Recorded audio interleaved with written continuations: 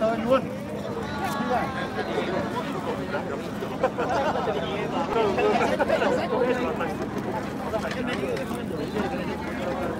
Đây đây đây còn cái này này.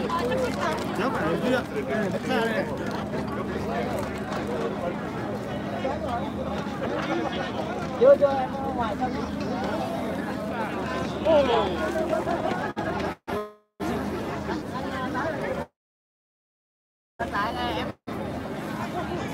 kiếm anh chưa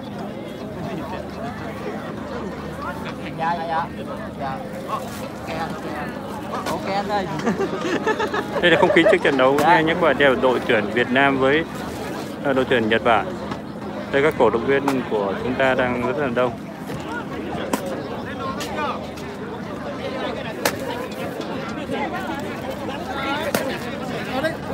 Đây có phút của anh khơi nhỉ? bắt à Đâu? Anh bỏ ra hay là rút ra nó rơi?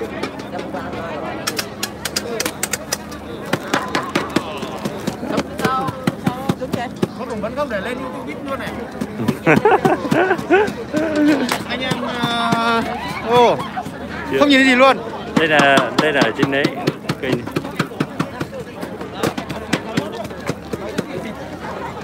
Lên lên lên thử luôn.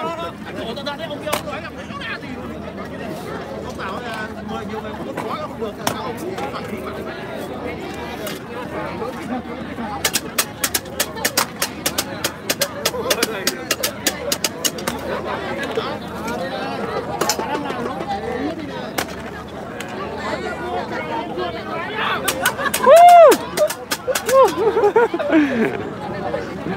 lại lại ra lại lại lại không khí trước trận đấu cho các bạn nha.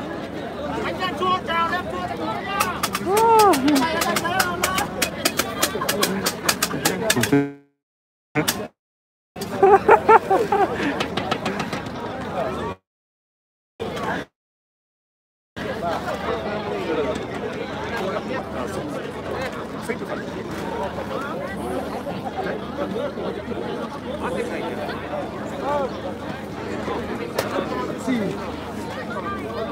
chào em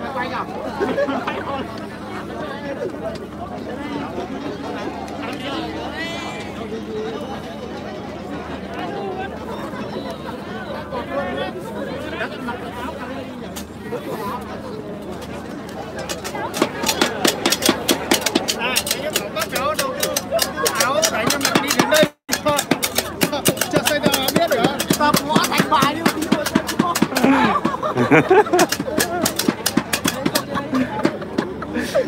lại ngõ đi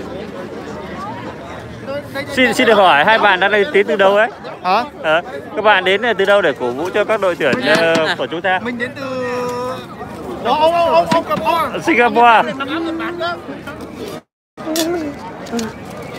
Vào rồi không có mua là áo Việt Nam áo Nhật Bản không? Cổ vũ Nhật Bản. Anh anh anh cho mình ra bộ áo Nhật Bản thôi, cổ vũ Việt Nam.